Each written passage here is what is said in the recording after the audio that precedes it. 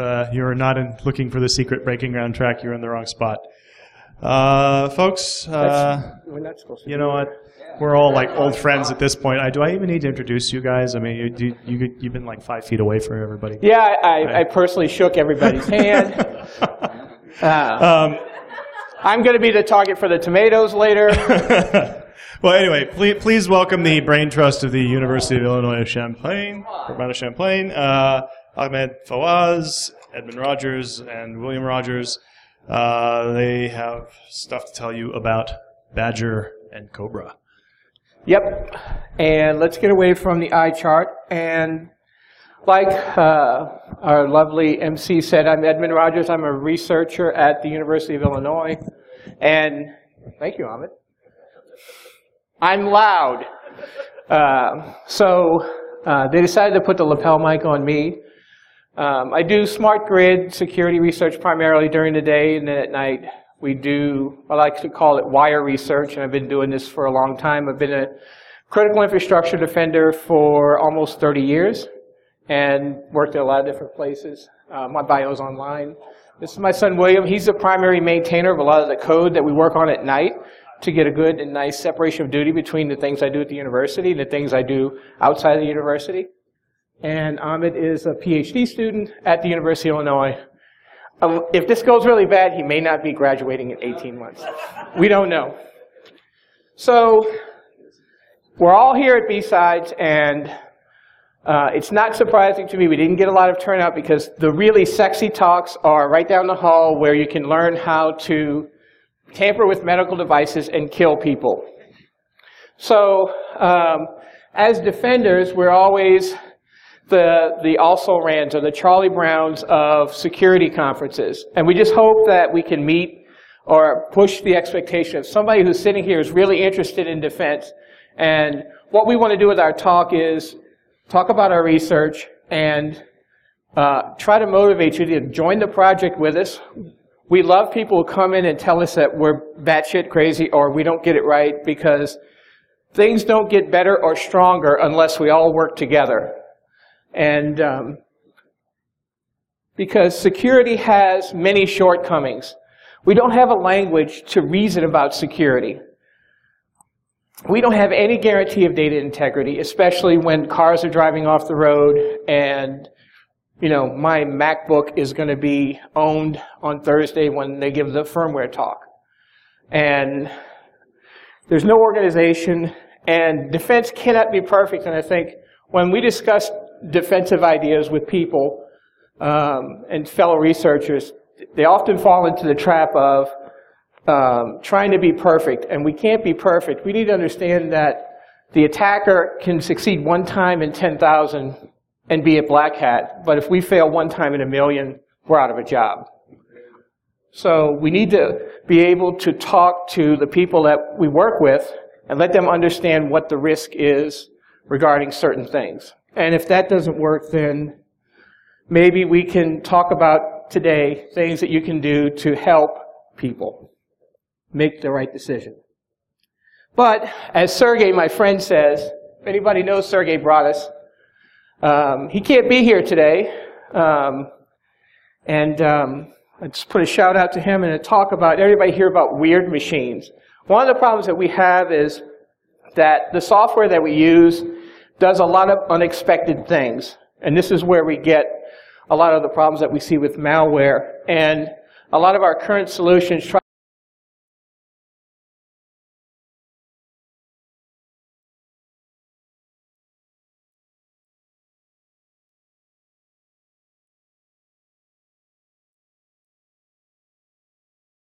Hello, I'm Geek here. Unfortunately, we had a little video problem, so we don't have any audio up until just about the 11 minute mark.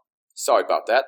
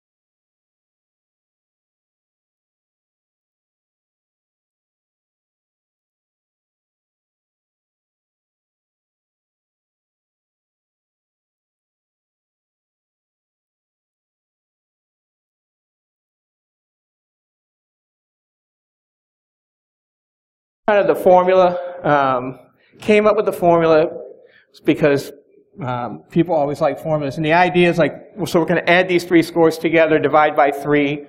Uh, these summed weights come up, and then if everything comes below 0.33, things should be good. And then we get into yellow and then red. And then these are numbers that you can change inside the algorithm to make the scores come out like you might want them to. So, like I said, we got more data than just a million packets. And um, what I did was at my house, I don't know if anybody else is like this, I've been recording my internet connection since I had one. And um, so I use physical taps, both inside and outside my wireless access point. So I can look at data outside of my wireless access point and inside it. I keep a running score of all that data, certain number of gigs, and have for years.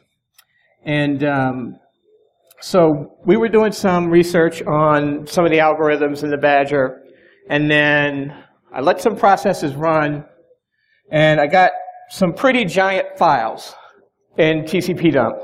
I actually had a file with 998 million packets on the inside and 1.3 billion packets observed on the outside of my network. And I found out when my drive filled up that um, I had a problem because I had these 400 gig files. So when you're a researcher and you have a lot of data, and um, you know, after a lot of processing, figured out it was 4.5 months of data. There were 28 hosts, and it's 400 gigs of data about. Um, you get to see a lot of interesting trends that come up. So, like I said, from TCP dump, we went in and we wrote some packet rates to files. What we wanted to do was just count in and out data and kind of like uh, just sanitize uh, the raw TCP dump packet into something that we're interested in, things like IP address, source port, destination port, timestamp, that kind of thing. So that we can get things like packets per second, packets per minute, and just run that all the way through the entire, however long the, the capture might be. And then we wanted to make unique destination files. So we wanted to be able to capture files to individual destinations so that we could do joins against how many file, how many people internally are connecting to a destination, and we could do these cool things with graphs if you could get the data to be a little more manageable. So, looking at the data, um, we observed uh, 54,928 destinations from the outside big bad internet. Now, 38,208 of those uh, IP addresses actually resolved via reverse lookup. So it's about a 70%. I think it came out to 69.5. I rounded it to 70. 70% success rate. But the interesting thing was, on the inside, there are only 29,829 destinations. So there's a little bit of a difference there. Um, a few thousand hosts on the outside that um, don't ever make it to the inside for some reason. And um, I don't want to really get involved in the why of that because I could probably just do an hour talk on the data. But the, the thing that was more interesting to me, as far as the data, this piece of the data goes, is that 99%, I was say 98.5% of all the 29,800 domains resolved via reverse lookup. So this really tells me something that when, when I see a new IP address, if I can't resolve that, um, there is a distinct chance that this might be something a little fishy. And then this is interesting from the perspective of an observer or a defender that's been doing this for a long time is like, way back in the 90s when we were doing this, you wouldn't connect to people if they didn't resolve, if you didn't have a reverse lookup for them. You couldn't connect to web pages if you didn't have that. Um, so simple things like this can really give you an indication if you just are able to look at your data and organize it better. Uh, and then maybe somebody's doing math back there. I don't know if their phone has been hacked yet uh, because of the SMS messages, but uh, there's a little bit of a discrepancy between uh, destinations that were found outside, which is 29,704, and how many IP addresses I saw as destinations inside, which is 29,829. That comes out to 125 domains. So I kind of looked at the domains that were um, on my inside trace, but not outside. And there were RFC 1918 addresses that either go through other parts of my network that never make it to the internet, uh, things I knew about, an inevitable Microsoft DHCP address range, uh, which is an IP address you get if you don't get a DHCP response. Um, and then 18 of the IP addresses were on my inside LAN, so there's just inside LAN traffic. And then uh, likely all of these were to wireless networks, which was why it went through the AP. And then uh, multicast 7, other 13, which would just be like random IP addresses that probably happened while the internet connection was down. But the interesting thing was 47 of the IP addresses were owned by Apple. Um, we took a little look at this and basically the short story is when the internet connection is not working right, Apple tries to phone home to see if there's something wrong with the internet connection. And depending on what kind of Apple you have, depend, and I think they change the IP addresses because I've got a list of them. Very interesting. But from there, we, we created a directory structure where we took each of the 28 internal hosts that had IP addresses on my network, and then we, we put together all of the destinations for every packet that we observed in the four and a half months with the idea of how far can we reduce down this data and still get a running snapshot of all the things that have happened in the last four and a half months on this um, 400 gigs of data. So at the end of the day, after we've done a lot of pruning and um, we can get it down to 291 megs. So this is source sorted unique lists of destinations. I have average packet rates calculated down to the second. And I have DNS resolution for all of the destinations for 28 hosts inside my network for four and a half months. I can keep it inside a modern laptop in memory. So this really started to pique our interest in research because we're like, well, if we can get a four month footprint down this small, then if we built a client we could correlate processes with network flows, maybe provide some automatic mitigation based on red or bad things, and provide an independent decision making that's at the client. So the client's not going out to the server and saying, hey, what should I do about this? So we want the client to make his own decisions about what they do, and then um,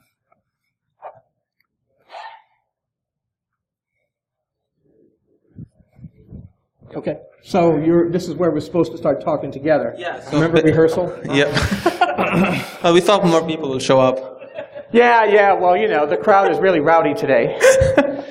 this is what happens when you get the spot after lunch. So Hope you had a good lunch.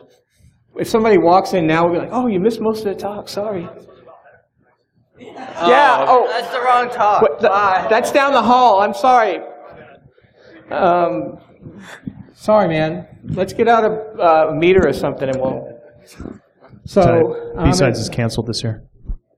Oh, sorry. Anyone have any medical devices? So basically, well, this you need to be really close to it. So, is there a button on here, or just turn it on? Yeah. Yeah, that's why Will was having the problems. Let's let's get back into it. So, we had this 291 megs of data. I think that I can keep it in memory, which is really cool to me because then I can we can build this client. And my friend Ahmed here is like a student, and he's studying these types of things. And we're like, ooh, maybe we can work together to build a client that has this automatic mitigation. And now Ahmed is going to kind of So go us through this. Go So- ahead. It's really loud. so basically what we were thinking that instead of having just one server work around making the decisions of what gets to connect to whom, we can just have uh, on every host in your network, there's a thing living in, in your host, like it's like a rootkit basically, that does the same kind of data aggregation in the kernel and then basically make decisions. But then what you would need is that you would like to, to get the scores from Badger into that client to make decisions if a certain IP address is okay to communicate with or not. And for this, basically, we, we built Kobra. And Kobra is just a, a kernel that lives in the kernel, and it could work with Windows 7, and we're looking for more versions and other operating systems. And the thing it does is it collects network traffic and it correlates the network traffic with the processes that started it. And the reason we we care about that, so oh, so instead of that works. That's better. Yeah. Go ahead, keep going.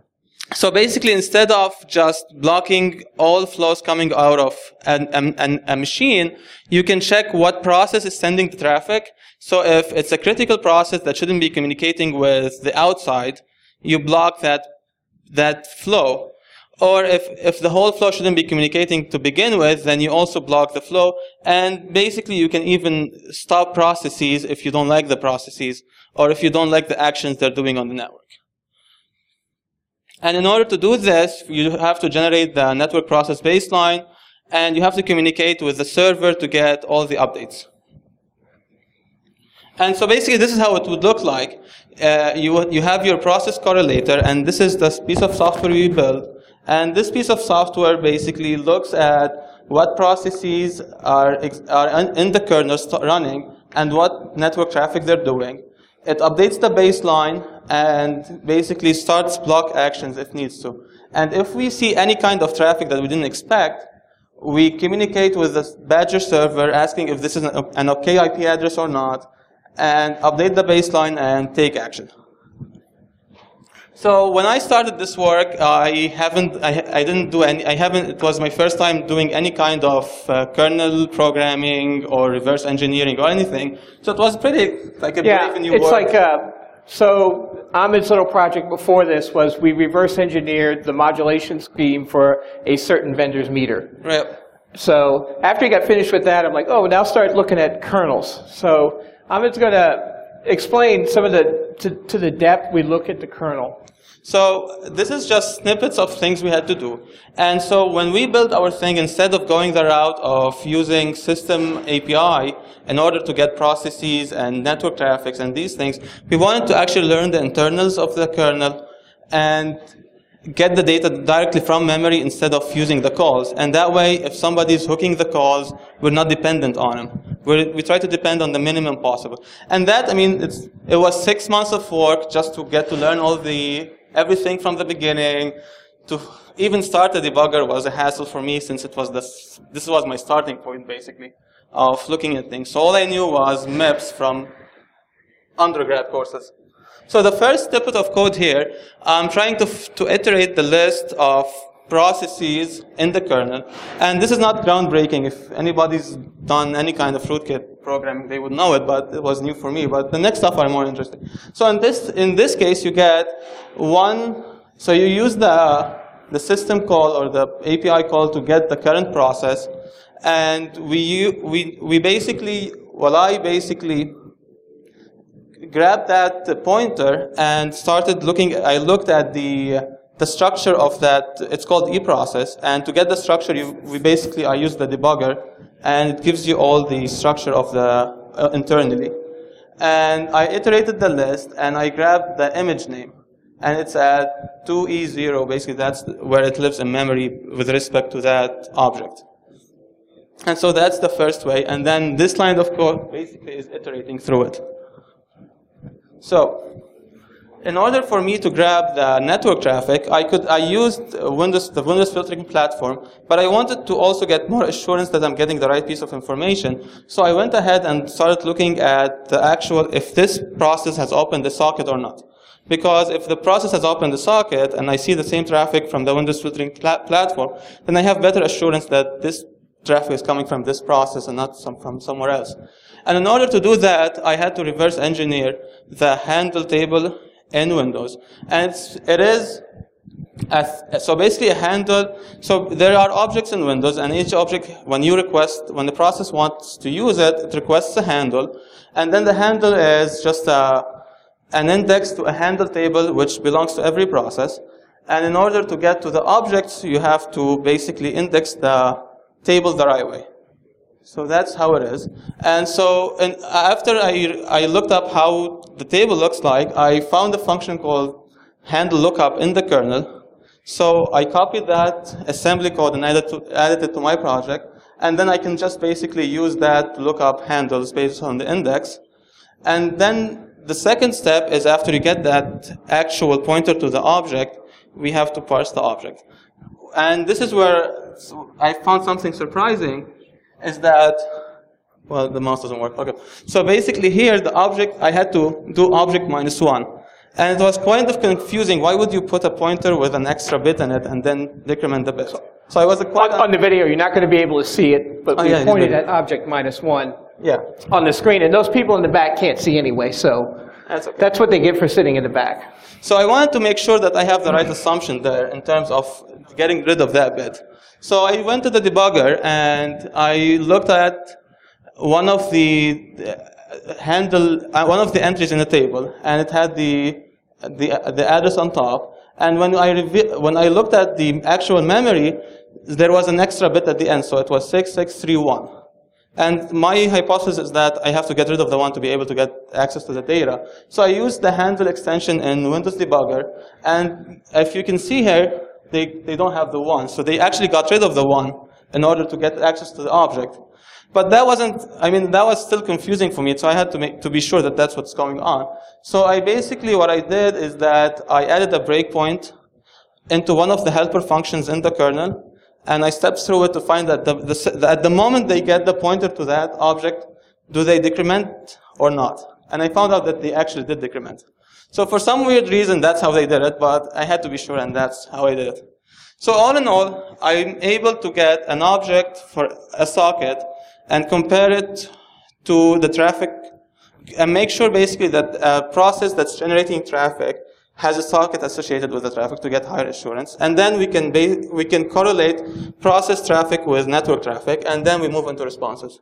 So are there any reverse engineers in the audience that maybe know why minus one?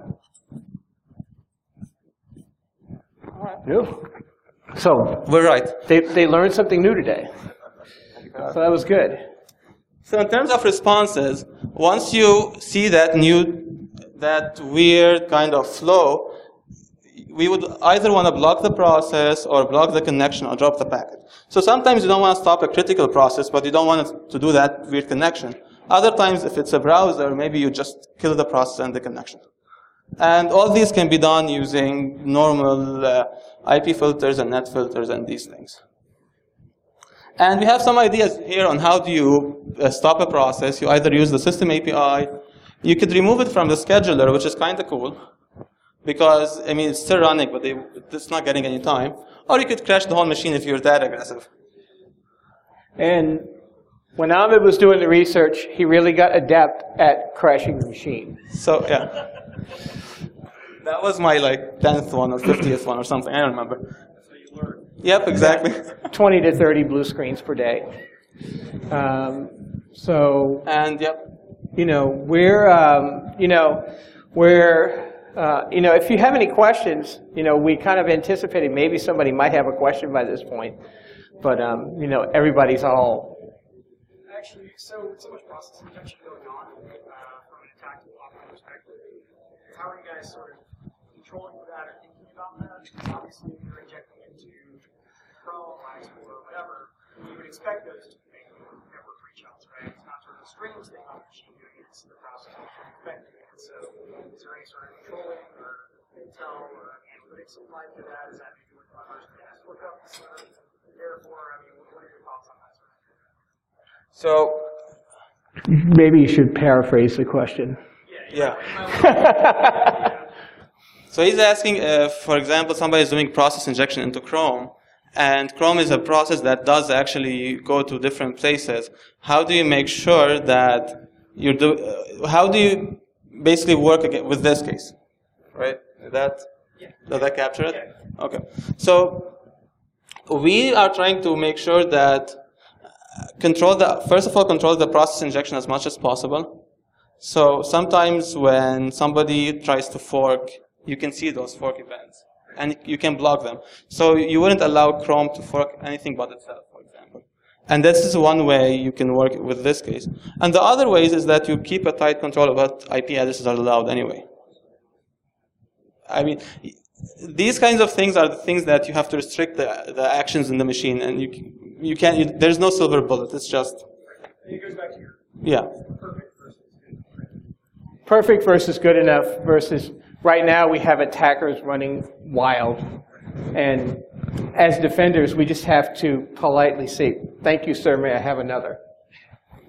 So the whole idea about it is that maybe we can do some things to um, maintain a, a better idea of connectivity. Because one of the things we really learned as we were building towards making this client and doing this research on all of the things on the wire is how incredibly small in a modern computer you can get a very wide footprint of all the data that passes through your house. We have very varied users at my house between teenagers watching YouTube videos all day to stuff that I do. So there's all over the place. And it's always interesting to see things that were in common, things that were not in common, and then egregious users of bandwidth, which ended up in videos, of course.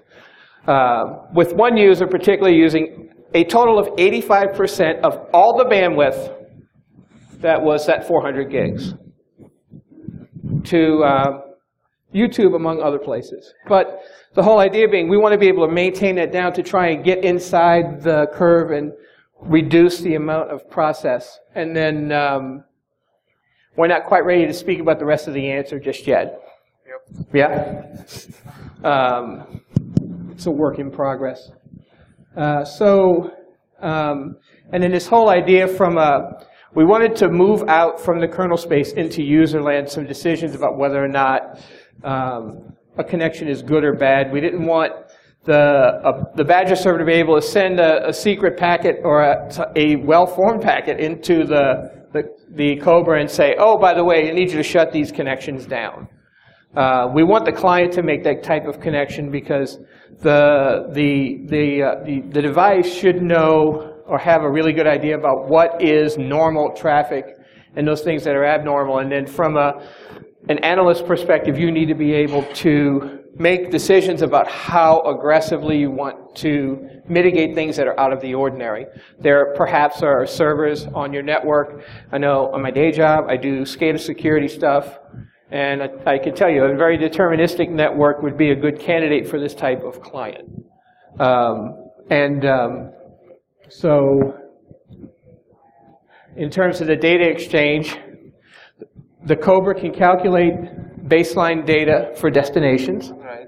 And And the, basically the we Badger and can ask for that data, and Kobra can ask for the same kind of data back, and yeah. So basically, it's like a cooperative of some sort. And then, um, so like everybody else, we're going to have a GitHub, and there's like the, the link of the GitHub for the project. Um, at some point in the future, there'll probably be a Kobra will be a part underneath when it gets released uh, very soon. And um, what's going to be there now, if I can make it back to the internet safely in Las Vegas during this week, without my MacBook being owned by firmware viruses and worms, is a tutorial for the Badger server, an overview of the Badger ontology. We really shot right through a lot of the CPTL stuff, which was what we did at the Black Hat Talk last year. And Gabe Weaver, uh, one of the fellow researchers at the university, is not really here to, to speak about his piece. He's really driving that project. But building ontologies for a lot of things so we can provide uh, cyber physical um, crossover to where Badgers also wants to go out and I'm on another funded project at the university where um, providing this state estimation into a cyber physical system and then getting operational data back from that system so that I see something's going on, but I don't know necessarily whether or not it's something important or if it's operating out of its normal operating conditions. Because I'm a security guy, I'm not an so a way to bridge data in an operational world and then also being able to look at things inside the kernel to come up with the best decision about what we should do and then let the client make some of those low-hanging fruit type of decisions. Um, and um, we got a lot of work to do in the future and um, invariably this is always the one slide that you get to last so maybe we wanted to keep the list short. But um, So we think it's kind of cool if we can ask the actual user on the machine to verify things we're saying. So for, even if we just want to verify that there's an actual user on the machine, we can we, we hope eventually we can pop-up questions, dim the screen, wait for a reaction. So stimulate the user to do something for us in order to resolve some uncertainties. And the second thing, And the second thing is, I kind of like, I wore the B-Sides shirt from Berlin so I could remember as well. I saw FX do a talk on his, his um, he has this idea about low or zero configuration identification. Uh, he calls it Trinity. Um, I'm working with him, I hope, on uh, integrating possibly some of this technology where we want to be able to set up things in a network so that we can have uh, a very low or zero configuration way of identifying things so that I know you're the client I think you are and you know I'm the Badger server you think I am because one of the things we really struggle with is this idea of trust when we're bouncing information back and forth about state uh, and we're both making decisions on that information. Knowing that you are who you say you are is going to be very important to us when we want to scale this. If I want to do this for a million clients or something like that, I want to be able to have something that's low overhead. Because uh, those million clients may not necessarily be very processor intensive. And um, yeah. Yeah, perhaps. We, we talked a little bit about that earlier. So the, the, the person asked a question about uh, using this authentication to prevent a DOS condition because I can impersonate the Badger server and say, ooh, this guy's bad. You don't really want to go there anymore. He's been compromised. And then uh, I get a score, oh, maybe I shouldn't go there anymore. And, um, and that's exactly right. And then, you know, this is a work in progress. I wouldn't put this on the DEF CON network this weekend, obviously. Uh, and um, it's part of the reason why it's not released yet uh, but it will be released soon. We didn't make the deadline for the conference, and we apologize for that. Yeah? What is Kobra pushing up to the server? Kobra will send um, state data back up to the server. application name and network connection. Um, basically, um, at this time, we're get we're just getting uh, red, green, yellow. So we have a destination, and uh, through either internal calculation, the client makes a determination about this is something that's out of the ordinary. I think this is marginal, and then through aggregation from multiple clients, you make a this. The Badger makes a decision about, ooh, I, a lot of my guys are seeing this, and then the Badger is going to be able to say, hey, we're seeing this in other places. Are you seeing this too? Because we think this might be something that's emerging. This idea about trying to detect things that are moving horizontally in your network. Perhaps they're not trying to communicate yet, but one of the things I found that was interesting in, I have a wired LAN and a wireless LAN. And being able to look at the intercommunication on the LAN was very interesting because not all, mach- whenever you have a machine that moves horizontally in your network, or like I could get in and run Nmap and see that, how do you programmatically or algorithmically say, this guy might be doing this kind of thing, moving horizontally in the network and trying to find those things that maybe not, don't get into the perimeter and all the nice gizmos that you have protecting your wire. So, great question.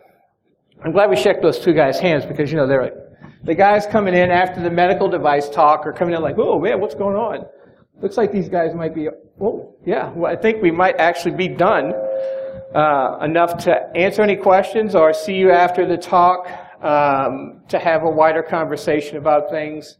And then that's the GitHub where you can look us up, look up, and then that's my Twitter handle. So um, if you want to contact us or meet us at the conference, we're, we'll be here all week. Thank you. All right, thank you, gentlemen. Does anybody else have some further questions? We do have some time left. These guys in the back are like, what the fuck just happened? These guys are finished. Sorry, man, they told us to do 40 minutes. Shouldn't have gone to the medical device talk. Now's the time for me to rip my shirt off and make my 100 Yeah, yeah, yeah. Go, go. What? We'll, we'll edit it out in post.